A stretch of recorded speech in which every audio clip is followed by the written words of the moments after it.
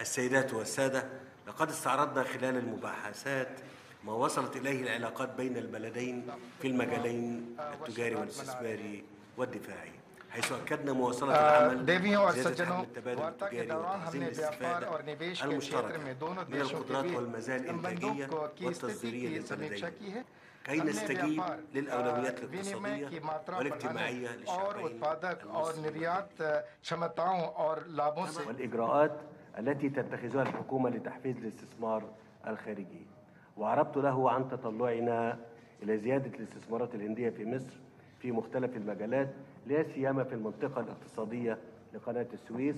خاصة بعد ما لمسناه من عزم لدى الشركات الهندية العاملة في مصر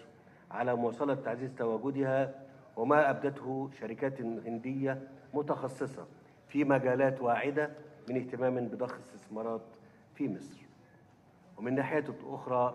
اتفقت رؤانا على تعظيم التعاون القائم في المجالات المختلفة والانطلاق نحو شراكات